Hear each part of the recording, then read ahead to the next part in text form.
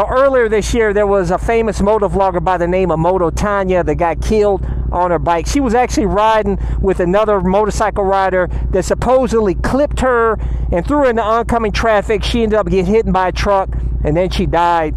Um, I did a video on it. If you haven't seen that video, go check out the link top right corner. But uh, I, I, said that, in my opinion, that's one of the reasons why I don't ride with other bikers because I feel like it can be dangerous. But some of you guys said CycleCruza riding alone is boring. I'm going to tell you why you're wrong about that. Motorcycle riding alone is not boring, and I'm going to tell you why. Let's go for a ride. Subscribe today. If you want to get my gear like this ultra lightweight carbon fiber helmet, motovlog camera, airbag vest to help keep you safe, all of my gear I always include links in the description and comment section i've been on youtube since 2012 i have not ridden with a rider one time i have ridden alone uh, my entire uh, tenure as a motorcycle rider. And I tell you, I get enjoyment out of riding alone, but there's a lot of you out there that just, you feel like you're bored. You're bored riding alone. That's because you have the wrong mindset. You know, a lot of you guys out there can't stand being alone yourself. Like some people have to have people around them or they just don't feel, I don't know, they, they get depressed about it or something. It's a mindset. For me, I'm the opposite. I actually like being alone. I don't like being.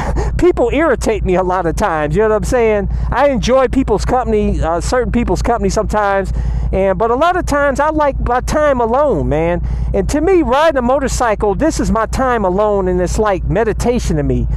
But I'm to tell you, when you, you know, a lot of you guys ride alone in your cars, but do you stop driving a car and say uh, driving a car is boring? because you, you drive alone? No.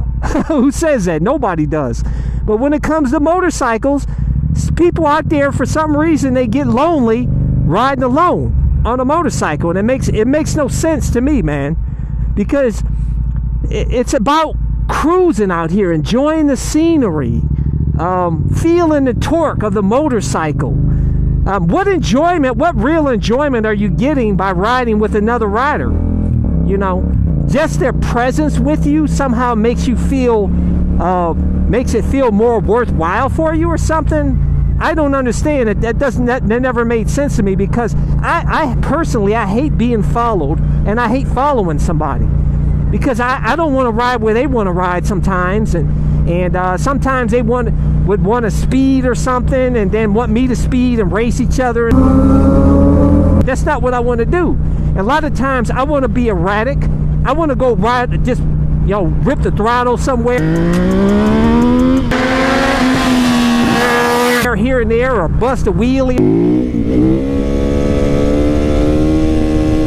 And that can be irritating to other riders. So it just doesn't work out with me when it comes to riding with other bikers. You know what I'm saying? So it, to me, riding with other bikers is boring. But I'm telling you, if you're riding with other bikers, they can end up getting you killed or end up getting your license suspended because if they you know if it appears that you're racing like the other person's like speeding ahead of you or something and then you speed to catch up the police gets you know they could possibly cite you for for racing out here on the streets or something which can be in a felony offense out here man. Honestly it, I, I just don't really see the benefit of riding with other riders. And there's a lot of times when you're riding with other bikers these car drivers, some of these people, they hate bikers and they see us as a threat they may think you're like a gang or something. I've seen uh, several, you know, uh, news reports in the past where people, uh, uh, like a truck, just plowed into a bunch of bikers. Man, this scene is something Fairmount Police Chief David Payne says he'll never forget. It was just before 2 p.m. on September 17th when Chief Payne heard the dispatch call about a white truck driving recklessly near his office. When he went outside, he saw the driver had plowed into three motorcycles on Highway 411 and took off. At least one of the motorcyclists died, four others were injured. The Fairmount police chief is still shocked by what happened here last weekend. Astonished. I was hoping nobody was still on the motorcycle. I've been here 30 years, and this is the first time that I've ever seen anything like this. Because they, they hate bikers. They see large groups of them and it pisses them off for some reason. I don't know, man. And I, I've seen how people, you know, riders can get, they get like a pack mentality when they get with other bikers and they start acting fool, more foolish than they normally would when they ride alone. Like I've seen, I passed a, a bunch of bikers once and they're revving their throttles, busting wheelies, speeding. That's where they probably wouldn't do that normally just riding alone. They probably just be cruising out here on the streets. But they like, a lot of riders out here want to show out, you know, uh, show off and show out for other riders. For me personally, there's no real benefit to uh, riding with other bikers unless you're riding off road. Now, that's a different, to me, if you're riding off road like with dirt bikes, a dual sports, and you're riding on trails, that's different entirely, man. You know what I'm saying? You're not going to show out, show off, and act a fool, and uh, you're going to be a lot more cautious riding off road. So, I'm not talking about off road riding, I'm talking specifically on the street.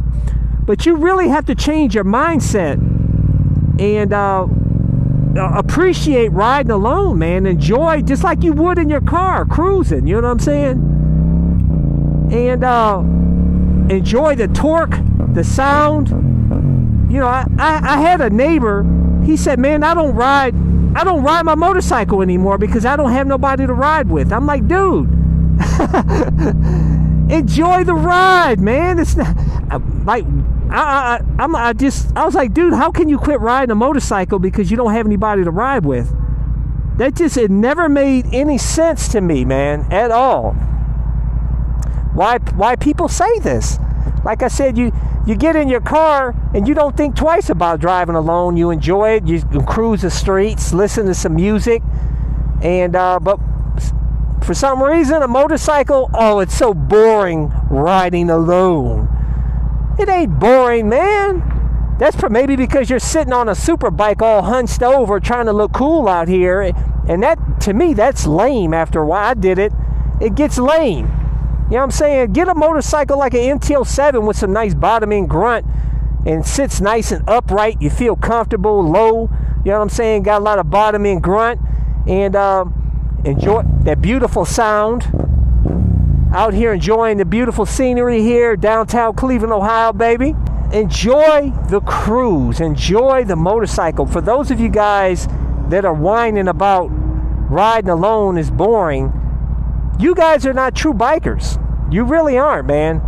Because uh, the, the, the, real true bikers out there, they'll, they'll go ride across the country alone. There was a biker, he rode he was he had cancer found out he had cancer he he bought a ducati panigale 1199 back in the day, and uh, he rode that bike all the way across the United States and back by himself and had the best time. Even wrote a book about it, man.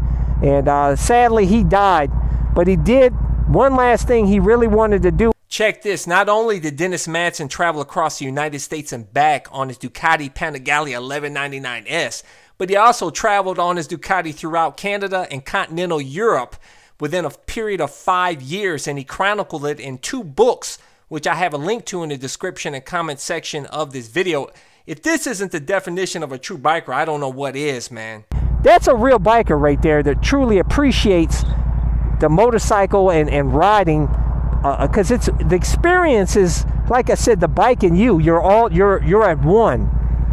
Another biker is is not really providing any any thrill for you at all. you know what I'm saying? They can be a, more of an irritation a lot of times. I'm trying to get you guys to appreciate riding alone out here on the streets. And, uh, you know what I'm saying? And, and then, you know what I'm saying? I'm out here in a, in a cemetery here, guys, and a lot of bikers end up here dead because they ride with other riders like Moto Tanya. Unfortunately, she's in the cemetery now and uh, because she rode with a rider. Had she been riding alone, enjoying the cruise, uh, she would be here today, most likely, man. And um, sad. Rest in peace, Moto Tanya. Rest in peace to all the bikers that have passed away, uh, that have, uh, because of another biker causing them to have an accident or causing them to speed, race, and everything else.